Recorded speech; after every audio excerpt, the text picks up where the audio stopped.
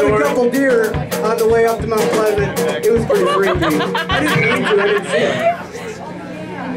it.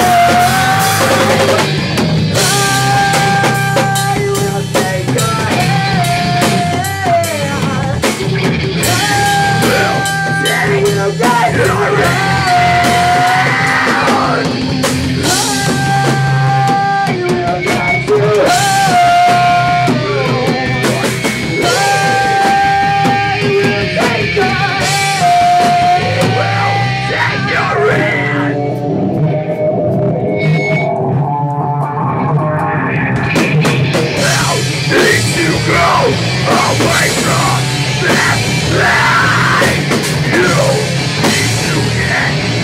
out of here!